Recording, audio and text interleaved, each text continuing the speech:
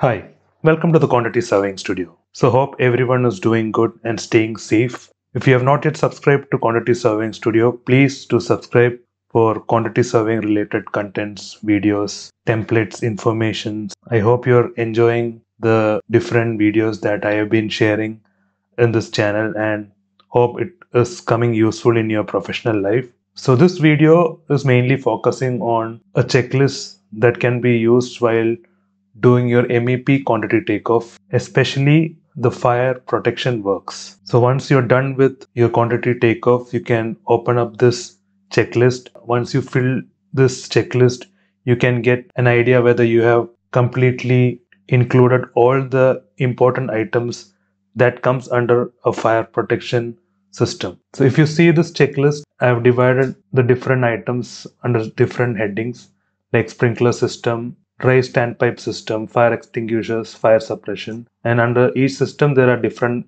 items, the major items. You have pipe works, ancillaries. Under ancillaries, there are a lot of ancillaries that might come, but I've included the important ones like valves, switches, instruments, measuring instruments, sight glass.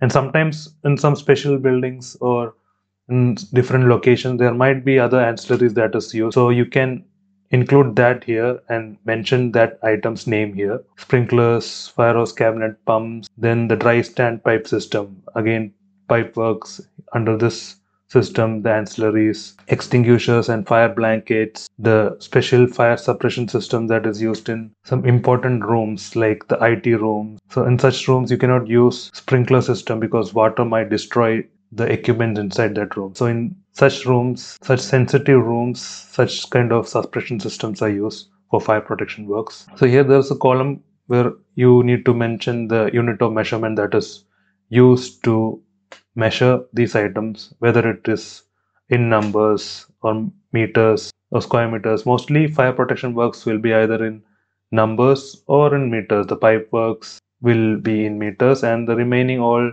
the items will be just in numbers. So once you have done with your quantity takeoff, you can fill out this column. Then you can fill the remaining details. Like for example, if these pipe works are measured. So if you see this heading, measured and included in BOQ, assumed and included in BOQ, not applicable, not included in BOQ, included under provisional sum. So this means that the particular item is measured from the drawings. It is available in the drawings. It was available in the drawings and it was also included into the boq for example pipe works are like that you can just give a shade green. Sometimes what happens is the pipe works will not be shown in the drawings. That might not happen and pipe works might not be there but like for example some measuring instruments. So it is required in some parts and you know that this item is required in that areas but it is not given in the drawings so you're just assuming it and then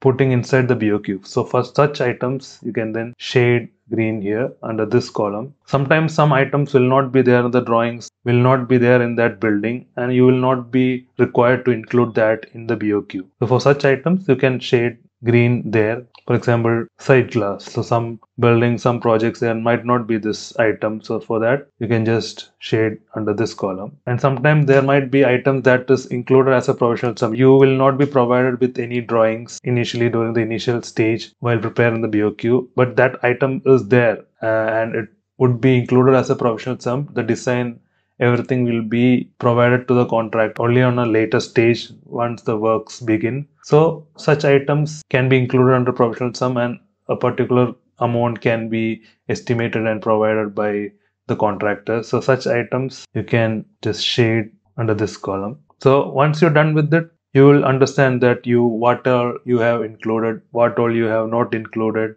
and where you have included, whether it is under provisional sum or inside the BOQ, which with items that were not in the BOQ. So once this checklist is filled up, you can send it to your line manager, the person who is going to review it. So he or she will also get an idea about the fire protection system that is happening in this building. Easily they can question you about why such and such an item was not there in the BOQ or they can ask just to recheck whether it is there in the drawings or not. So this is a very simple checklist that can be used in your professional life. So hope this small video was informative. If you require this checklist, you can mention your email ID in the comment section.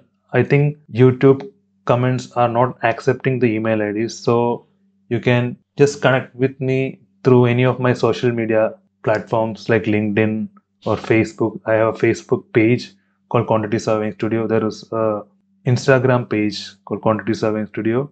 Or you can also contact me through LinkedIn. I have my profile in LinkedIn too. So you can just message me your email ID asking me the checklist, the fire protection works checklist, so I can email you this checklist. So thanks a lot for watching this video. Take care, stay safe, bye.